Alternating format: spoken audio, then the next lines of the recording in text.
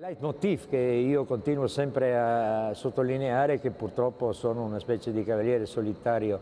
in missione da questo punto di vista, ho una voce chiamante nel deserto, chiamatela come volete, che uno quando va nell'NBA si rovina.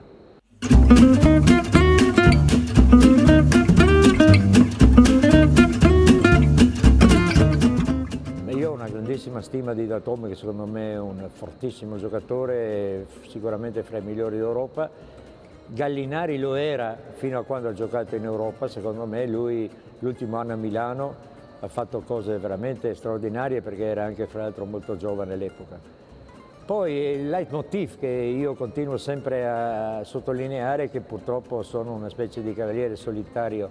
in missione da questo punto di vista, ho una voce chiamante nel deserto, chiamatela come volete,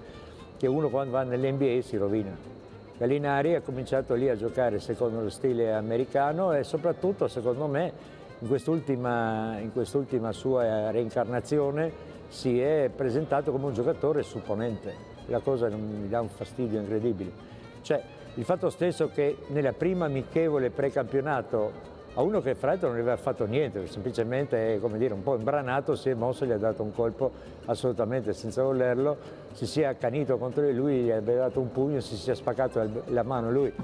e mi dispiace dirlo, ben gli sta perché ha fatto veramente, scusate ma si dice una monata colossale e a questo, punto, a questo punto non so quanto sarebbe stato utile giocando con questo tipo di approccio, però lui è un giocatore che di pallacanestro sa, sa perché ce l'ha nel sangue. Tu un giocatore lo vedi quando è in campo, capisce cosa deve fare senza che l'allenatore debba dirlo. Mi dispiace gli altri giocatori italiani questa dote secondo me non l'hanno, nessuno.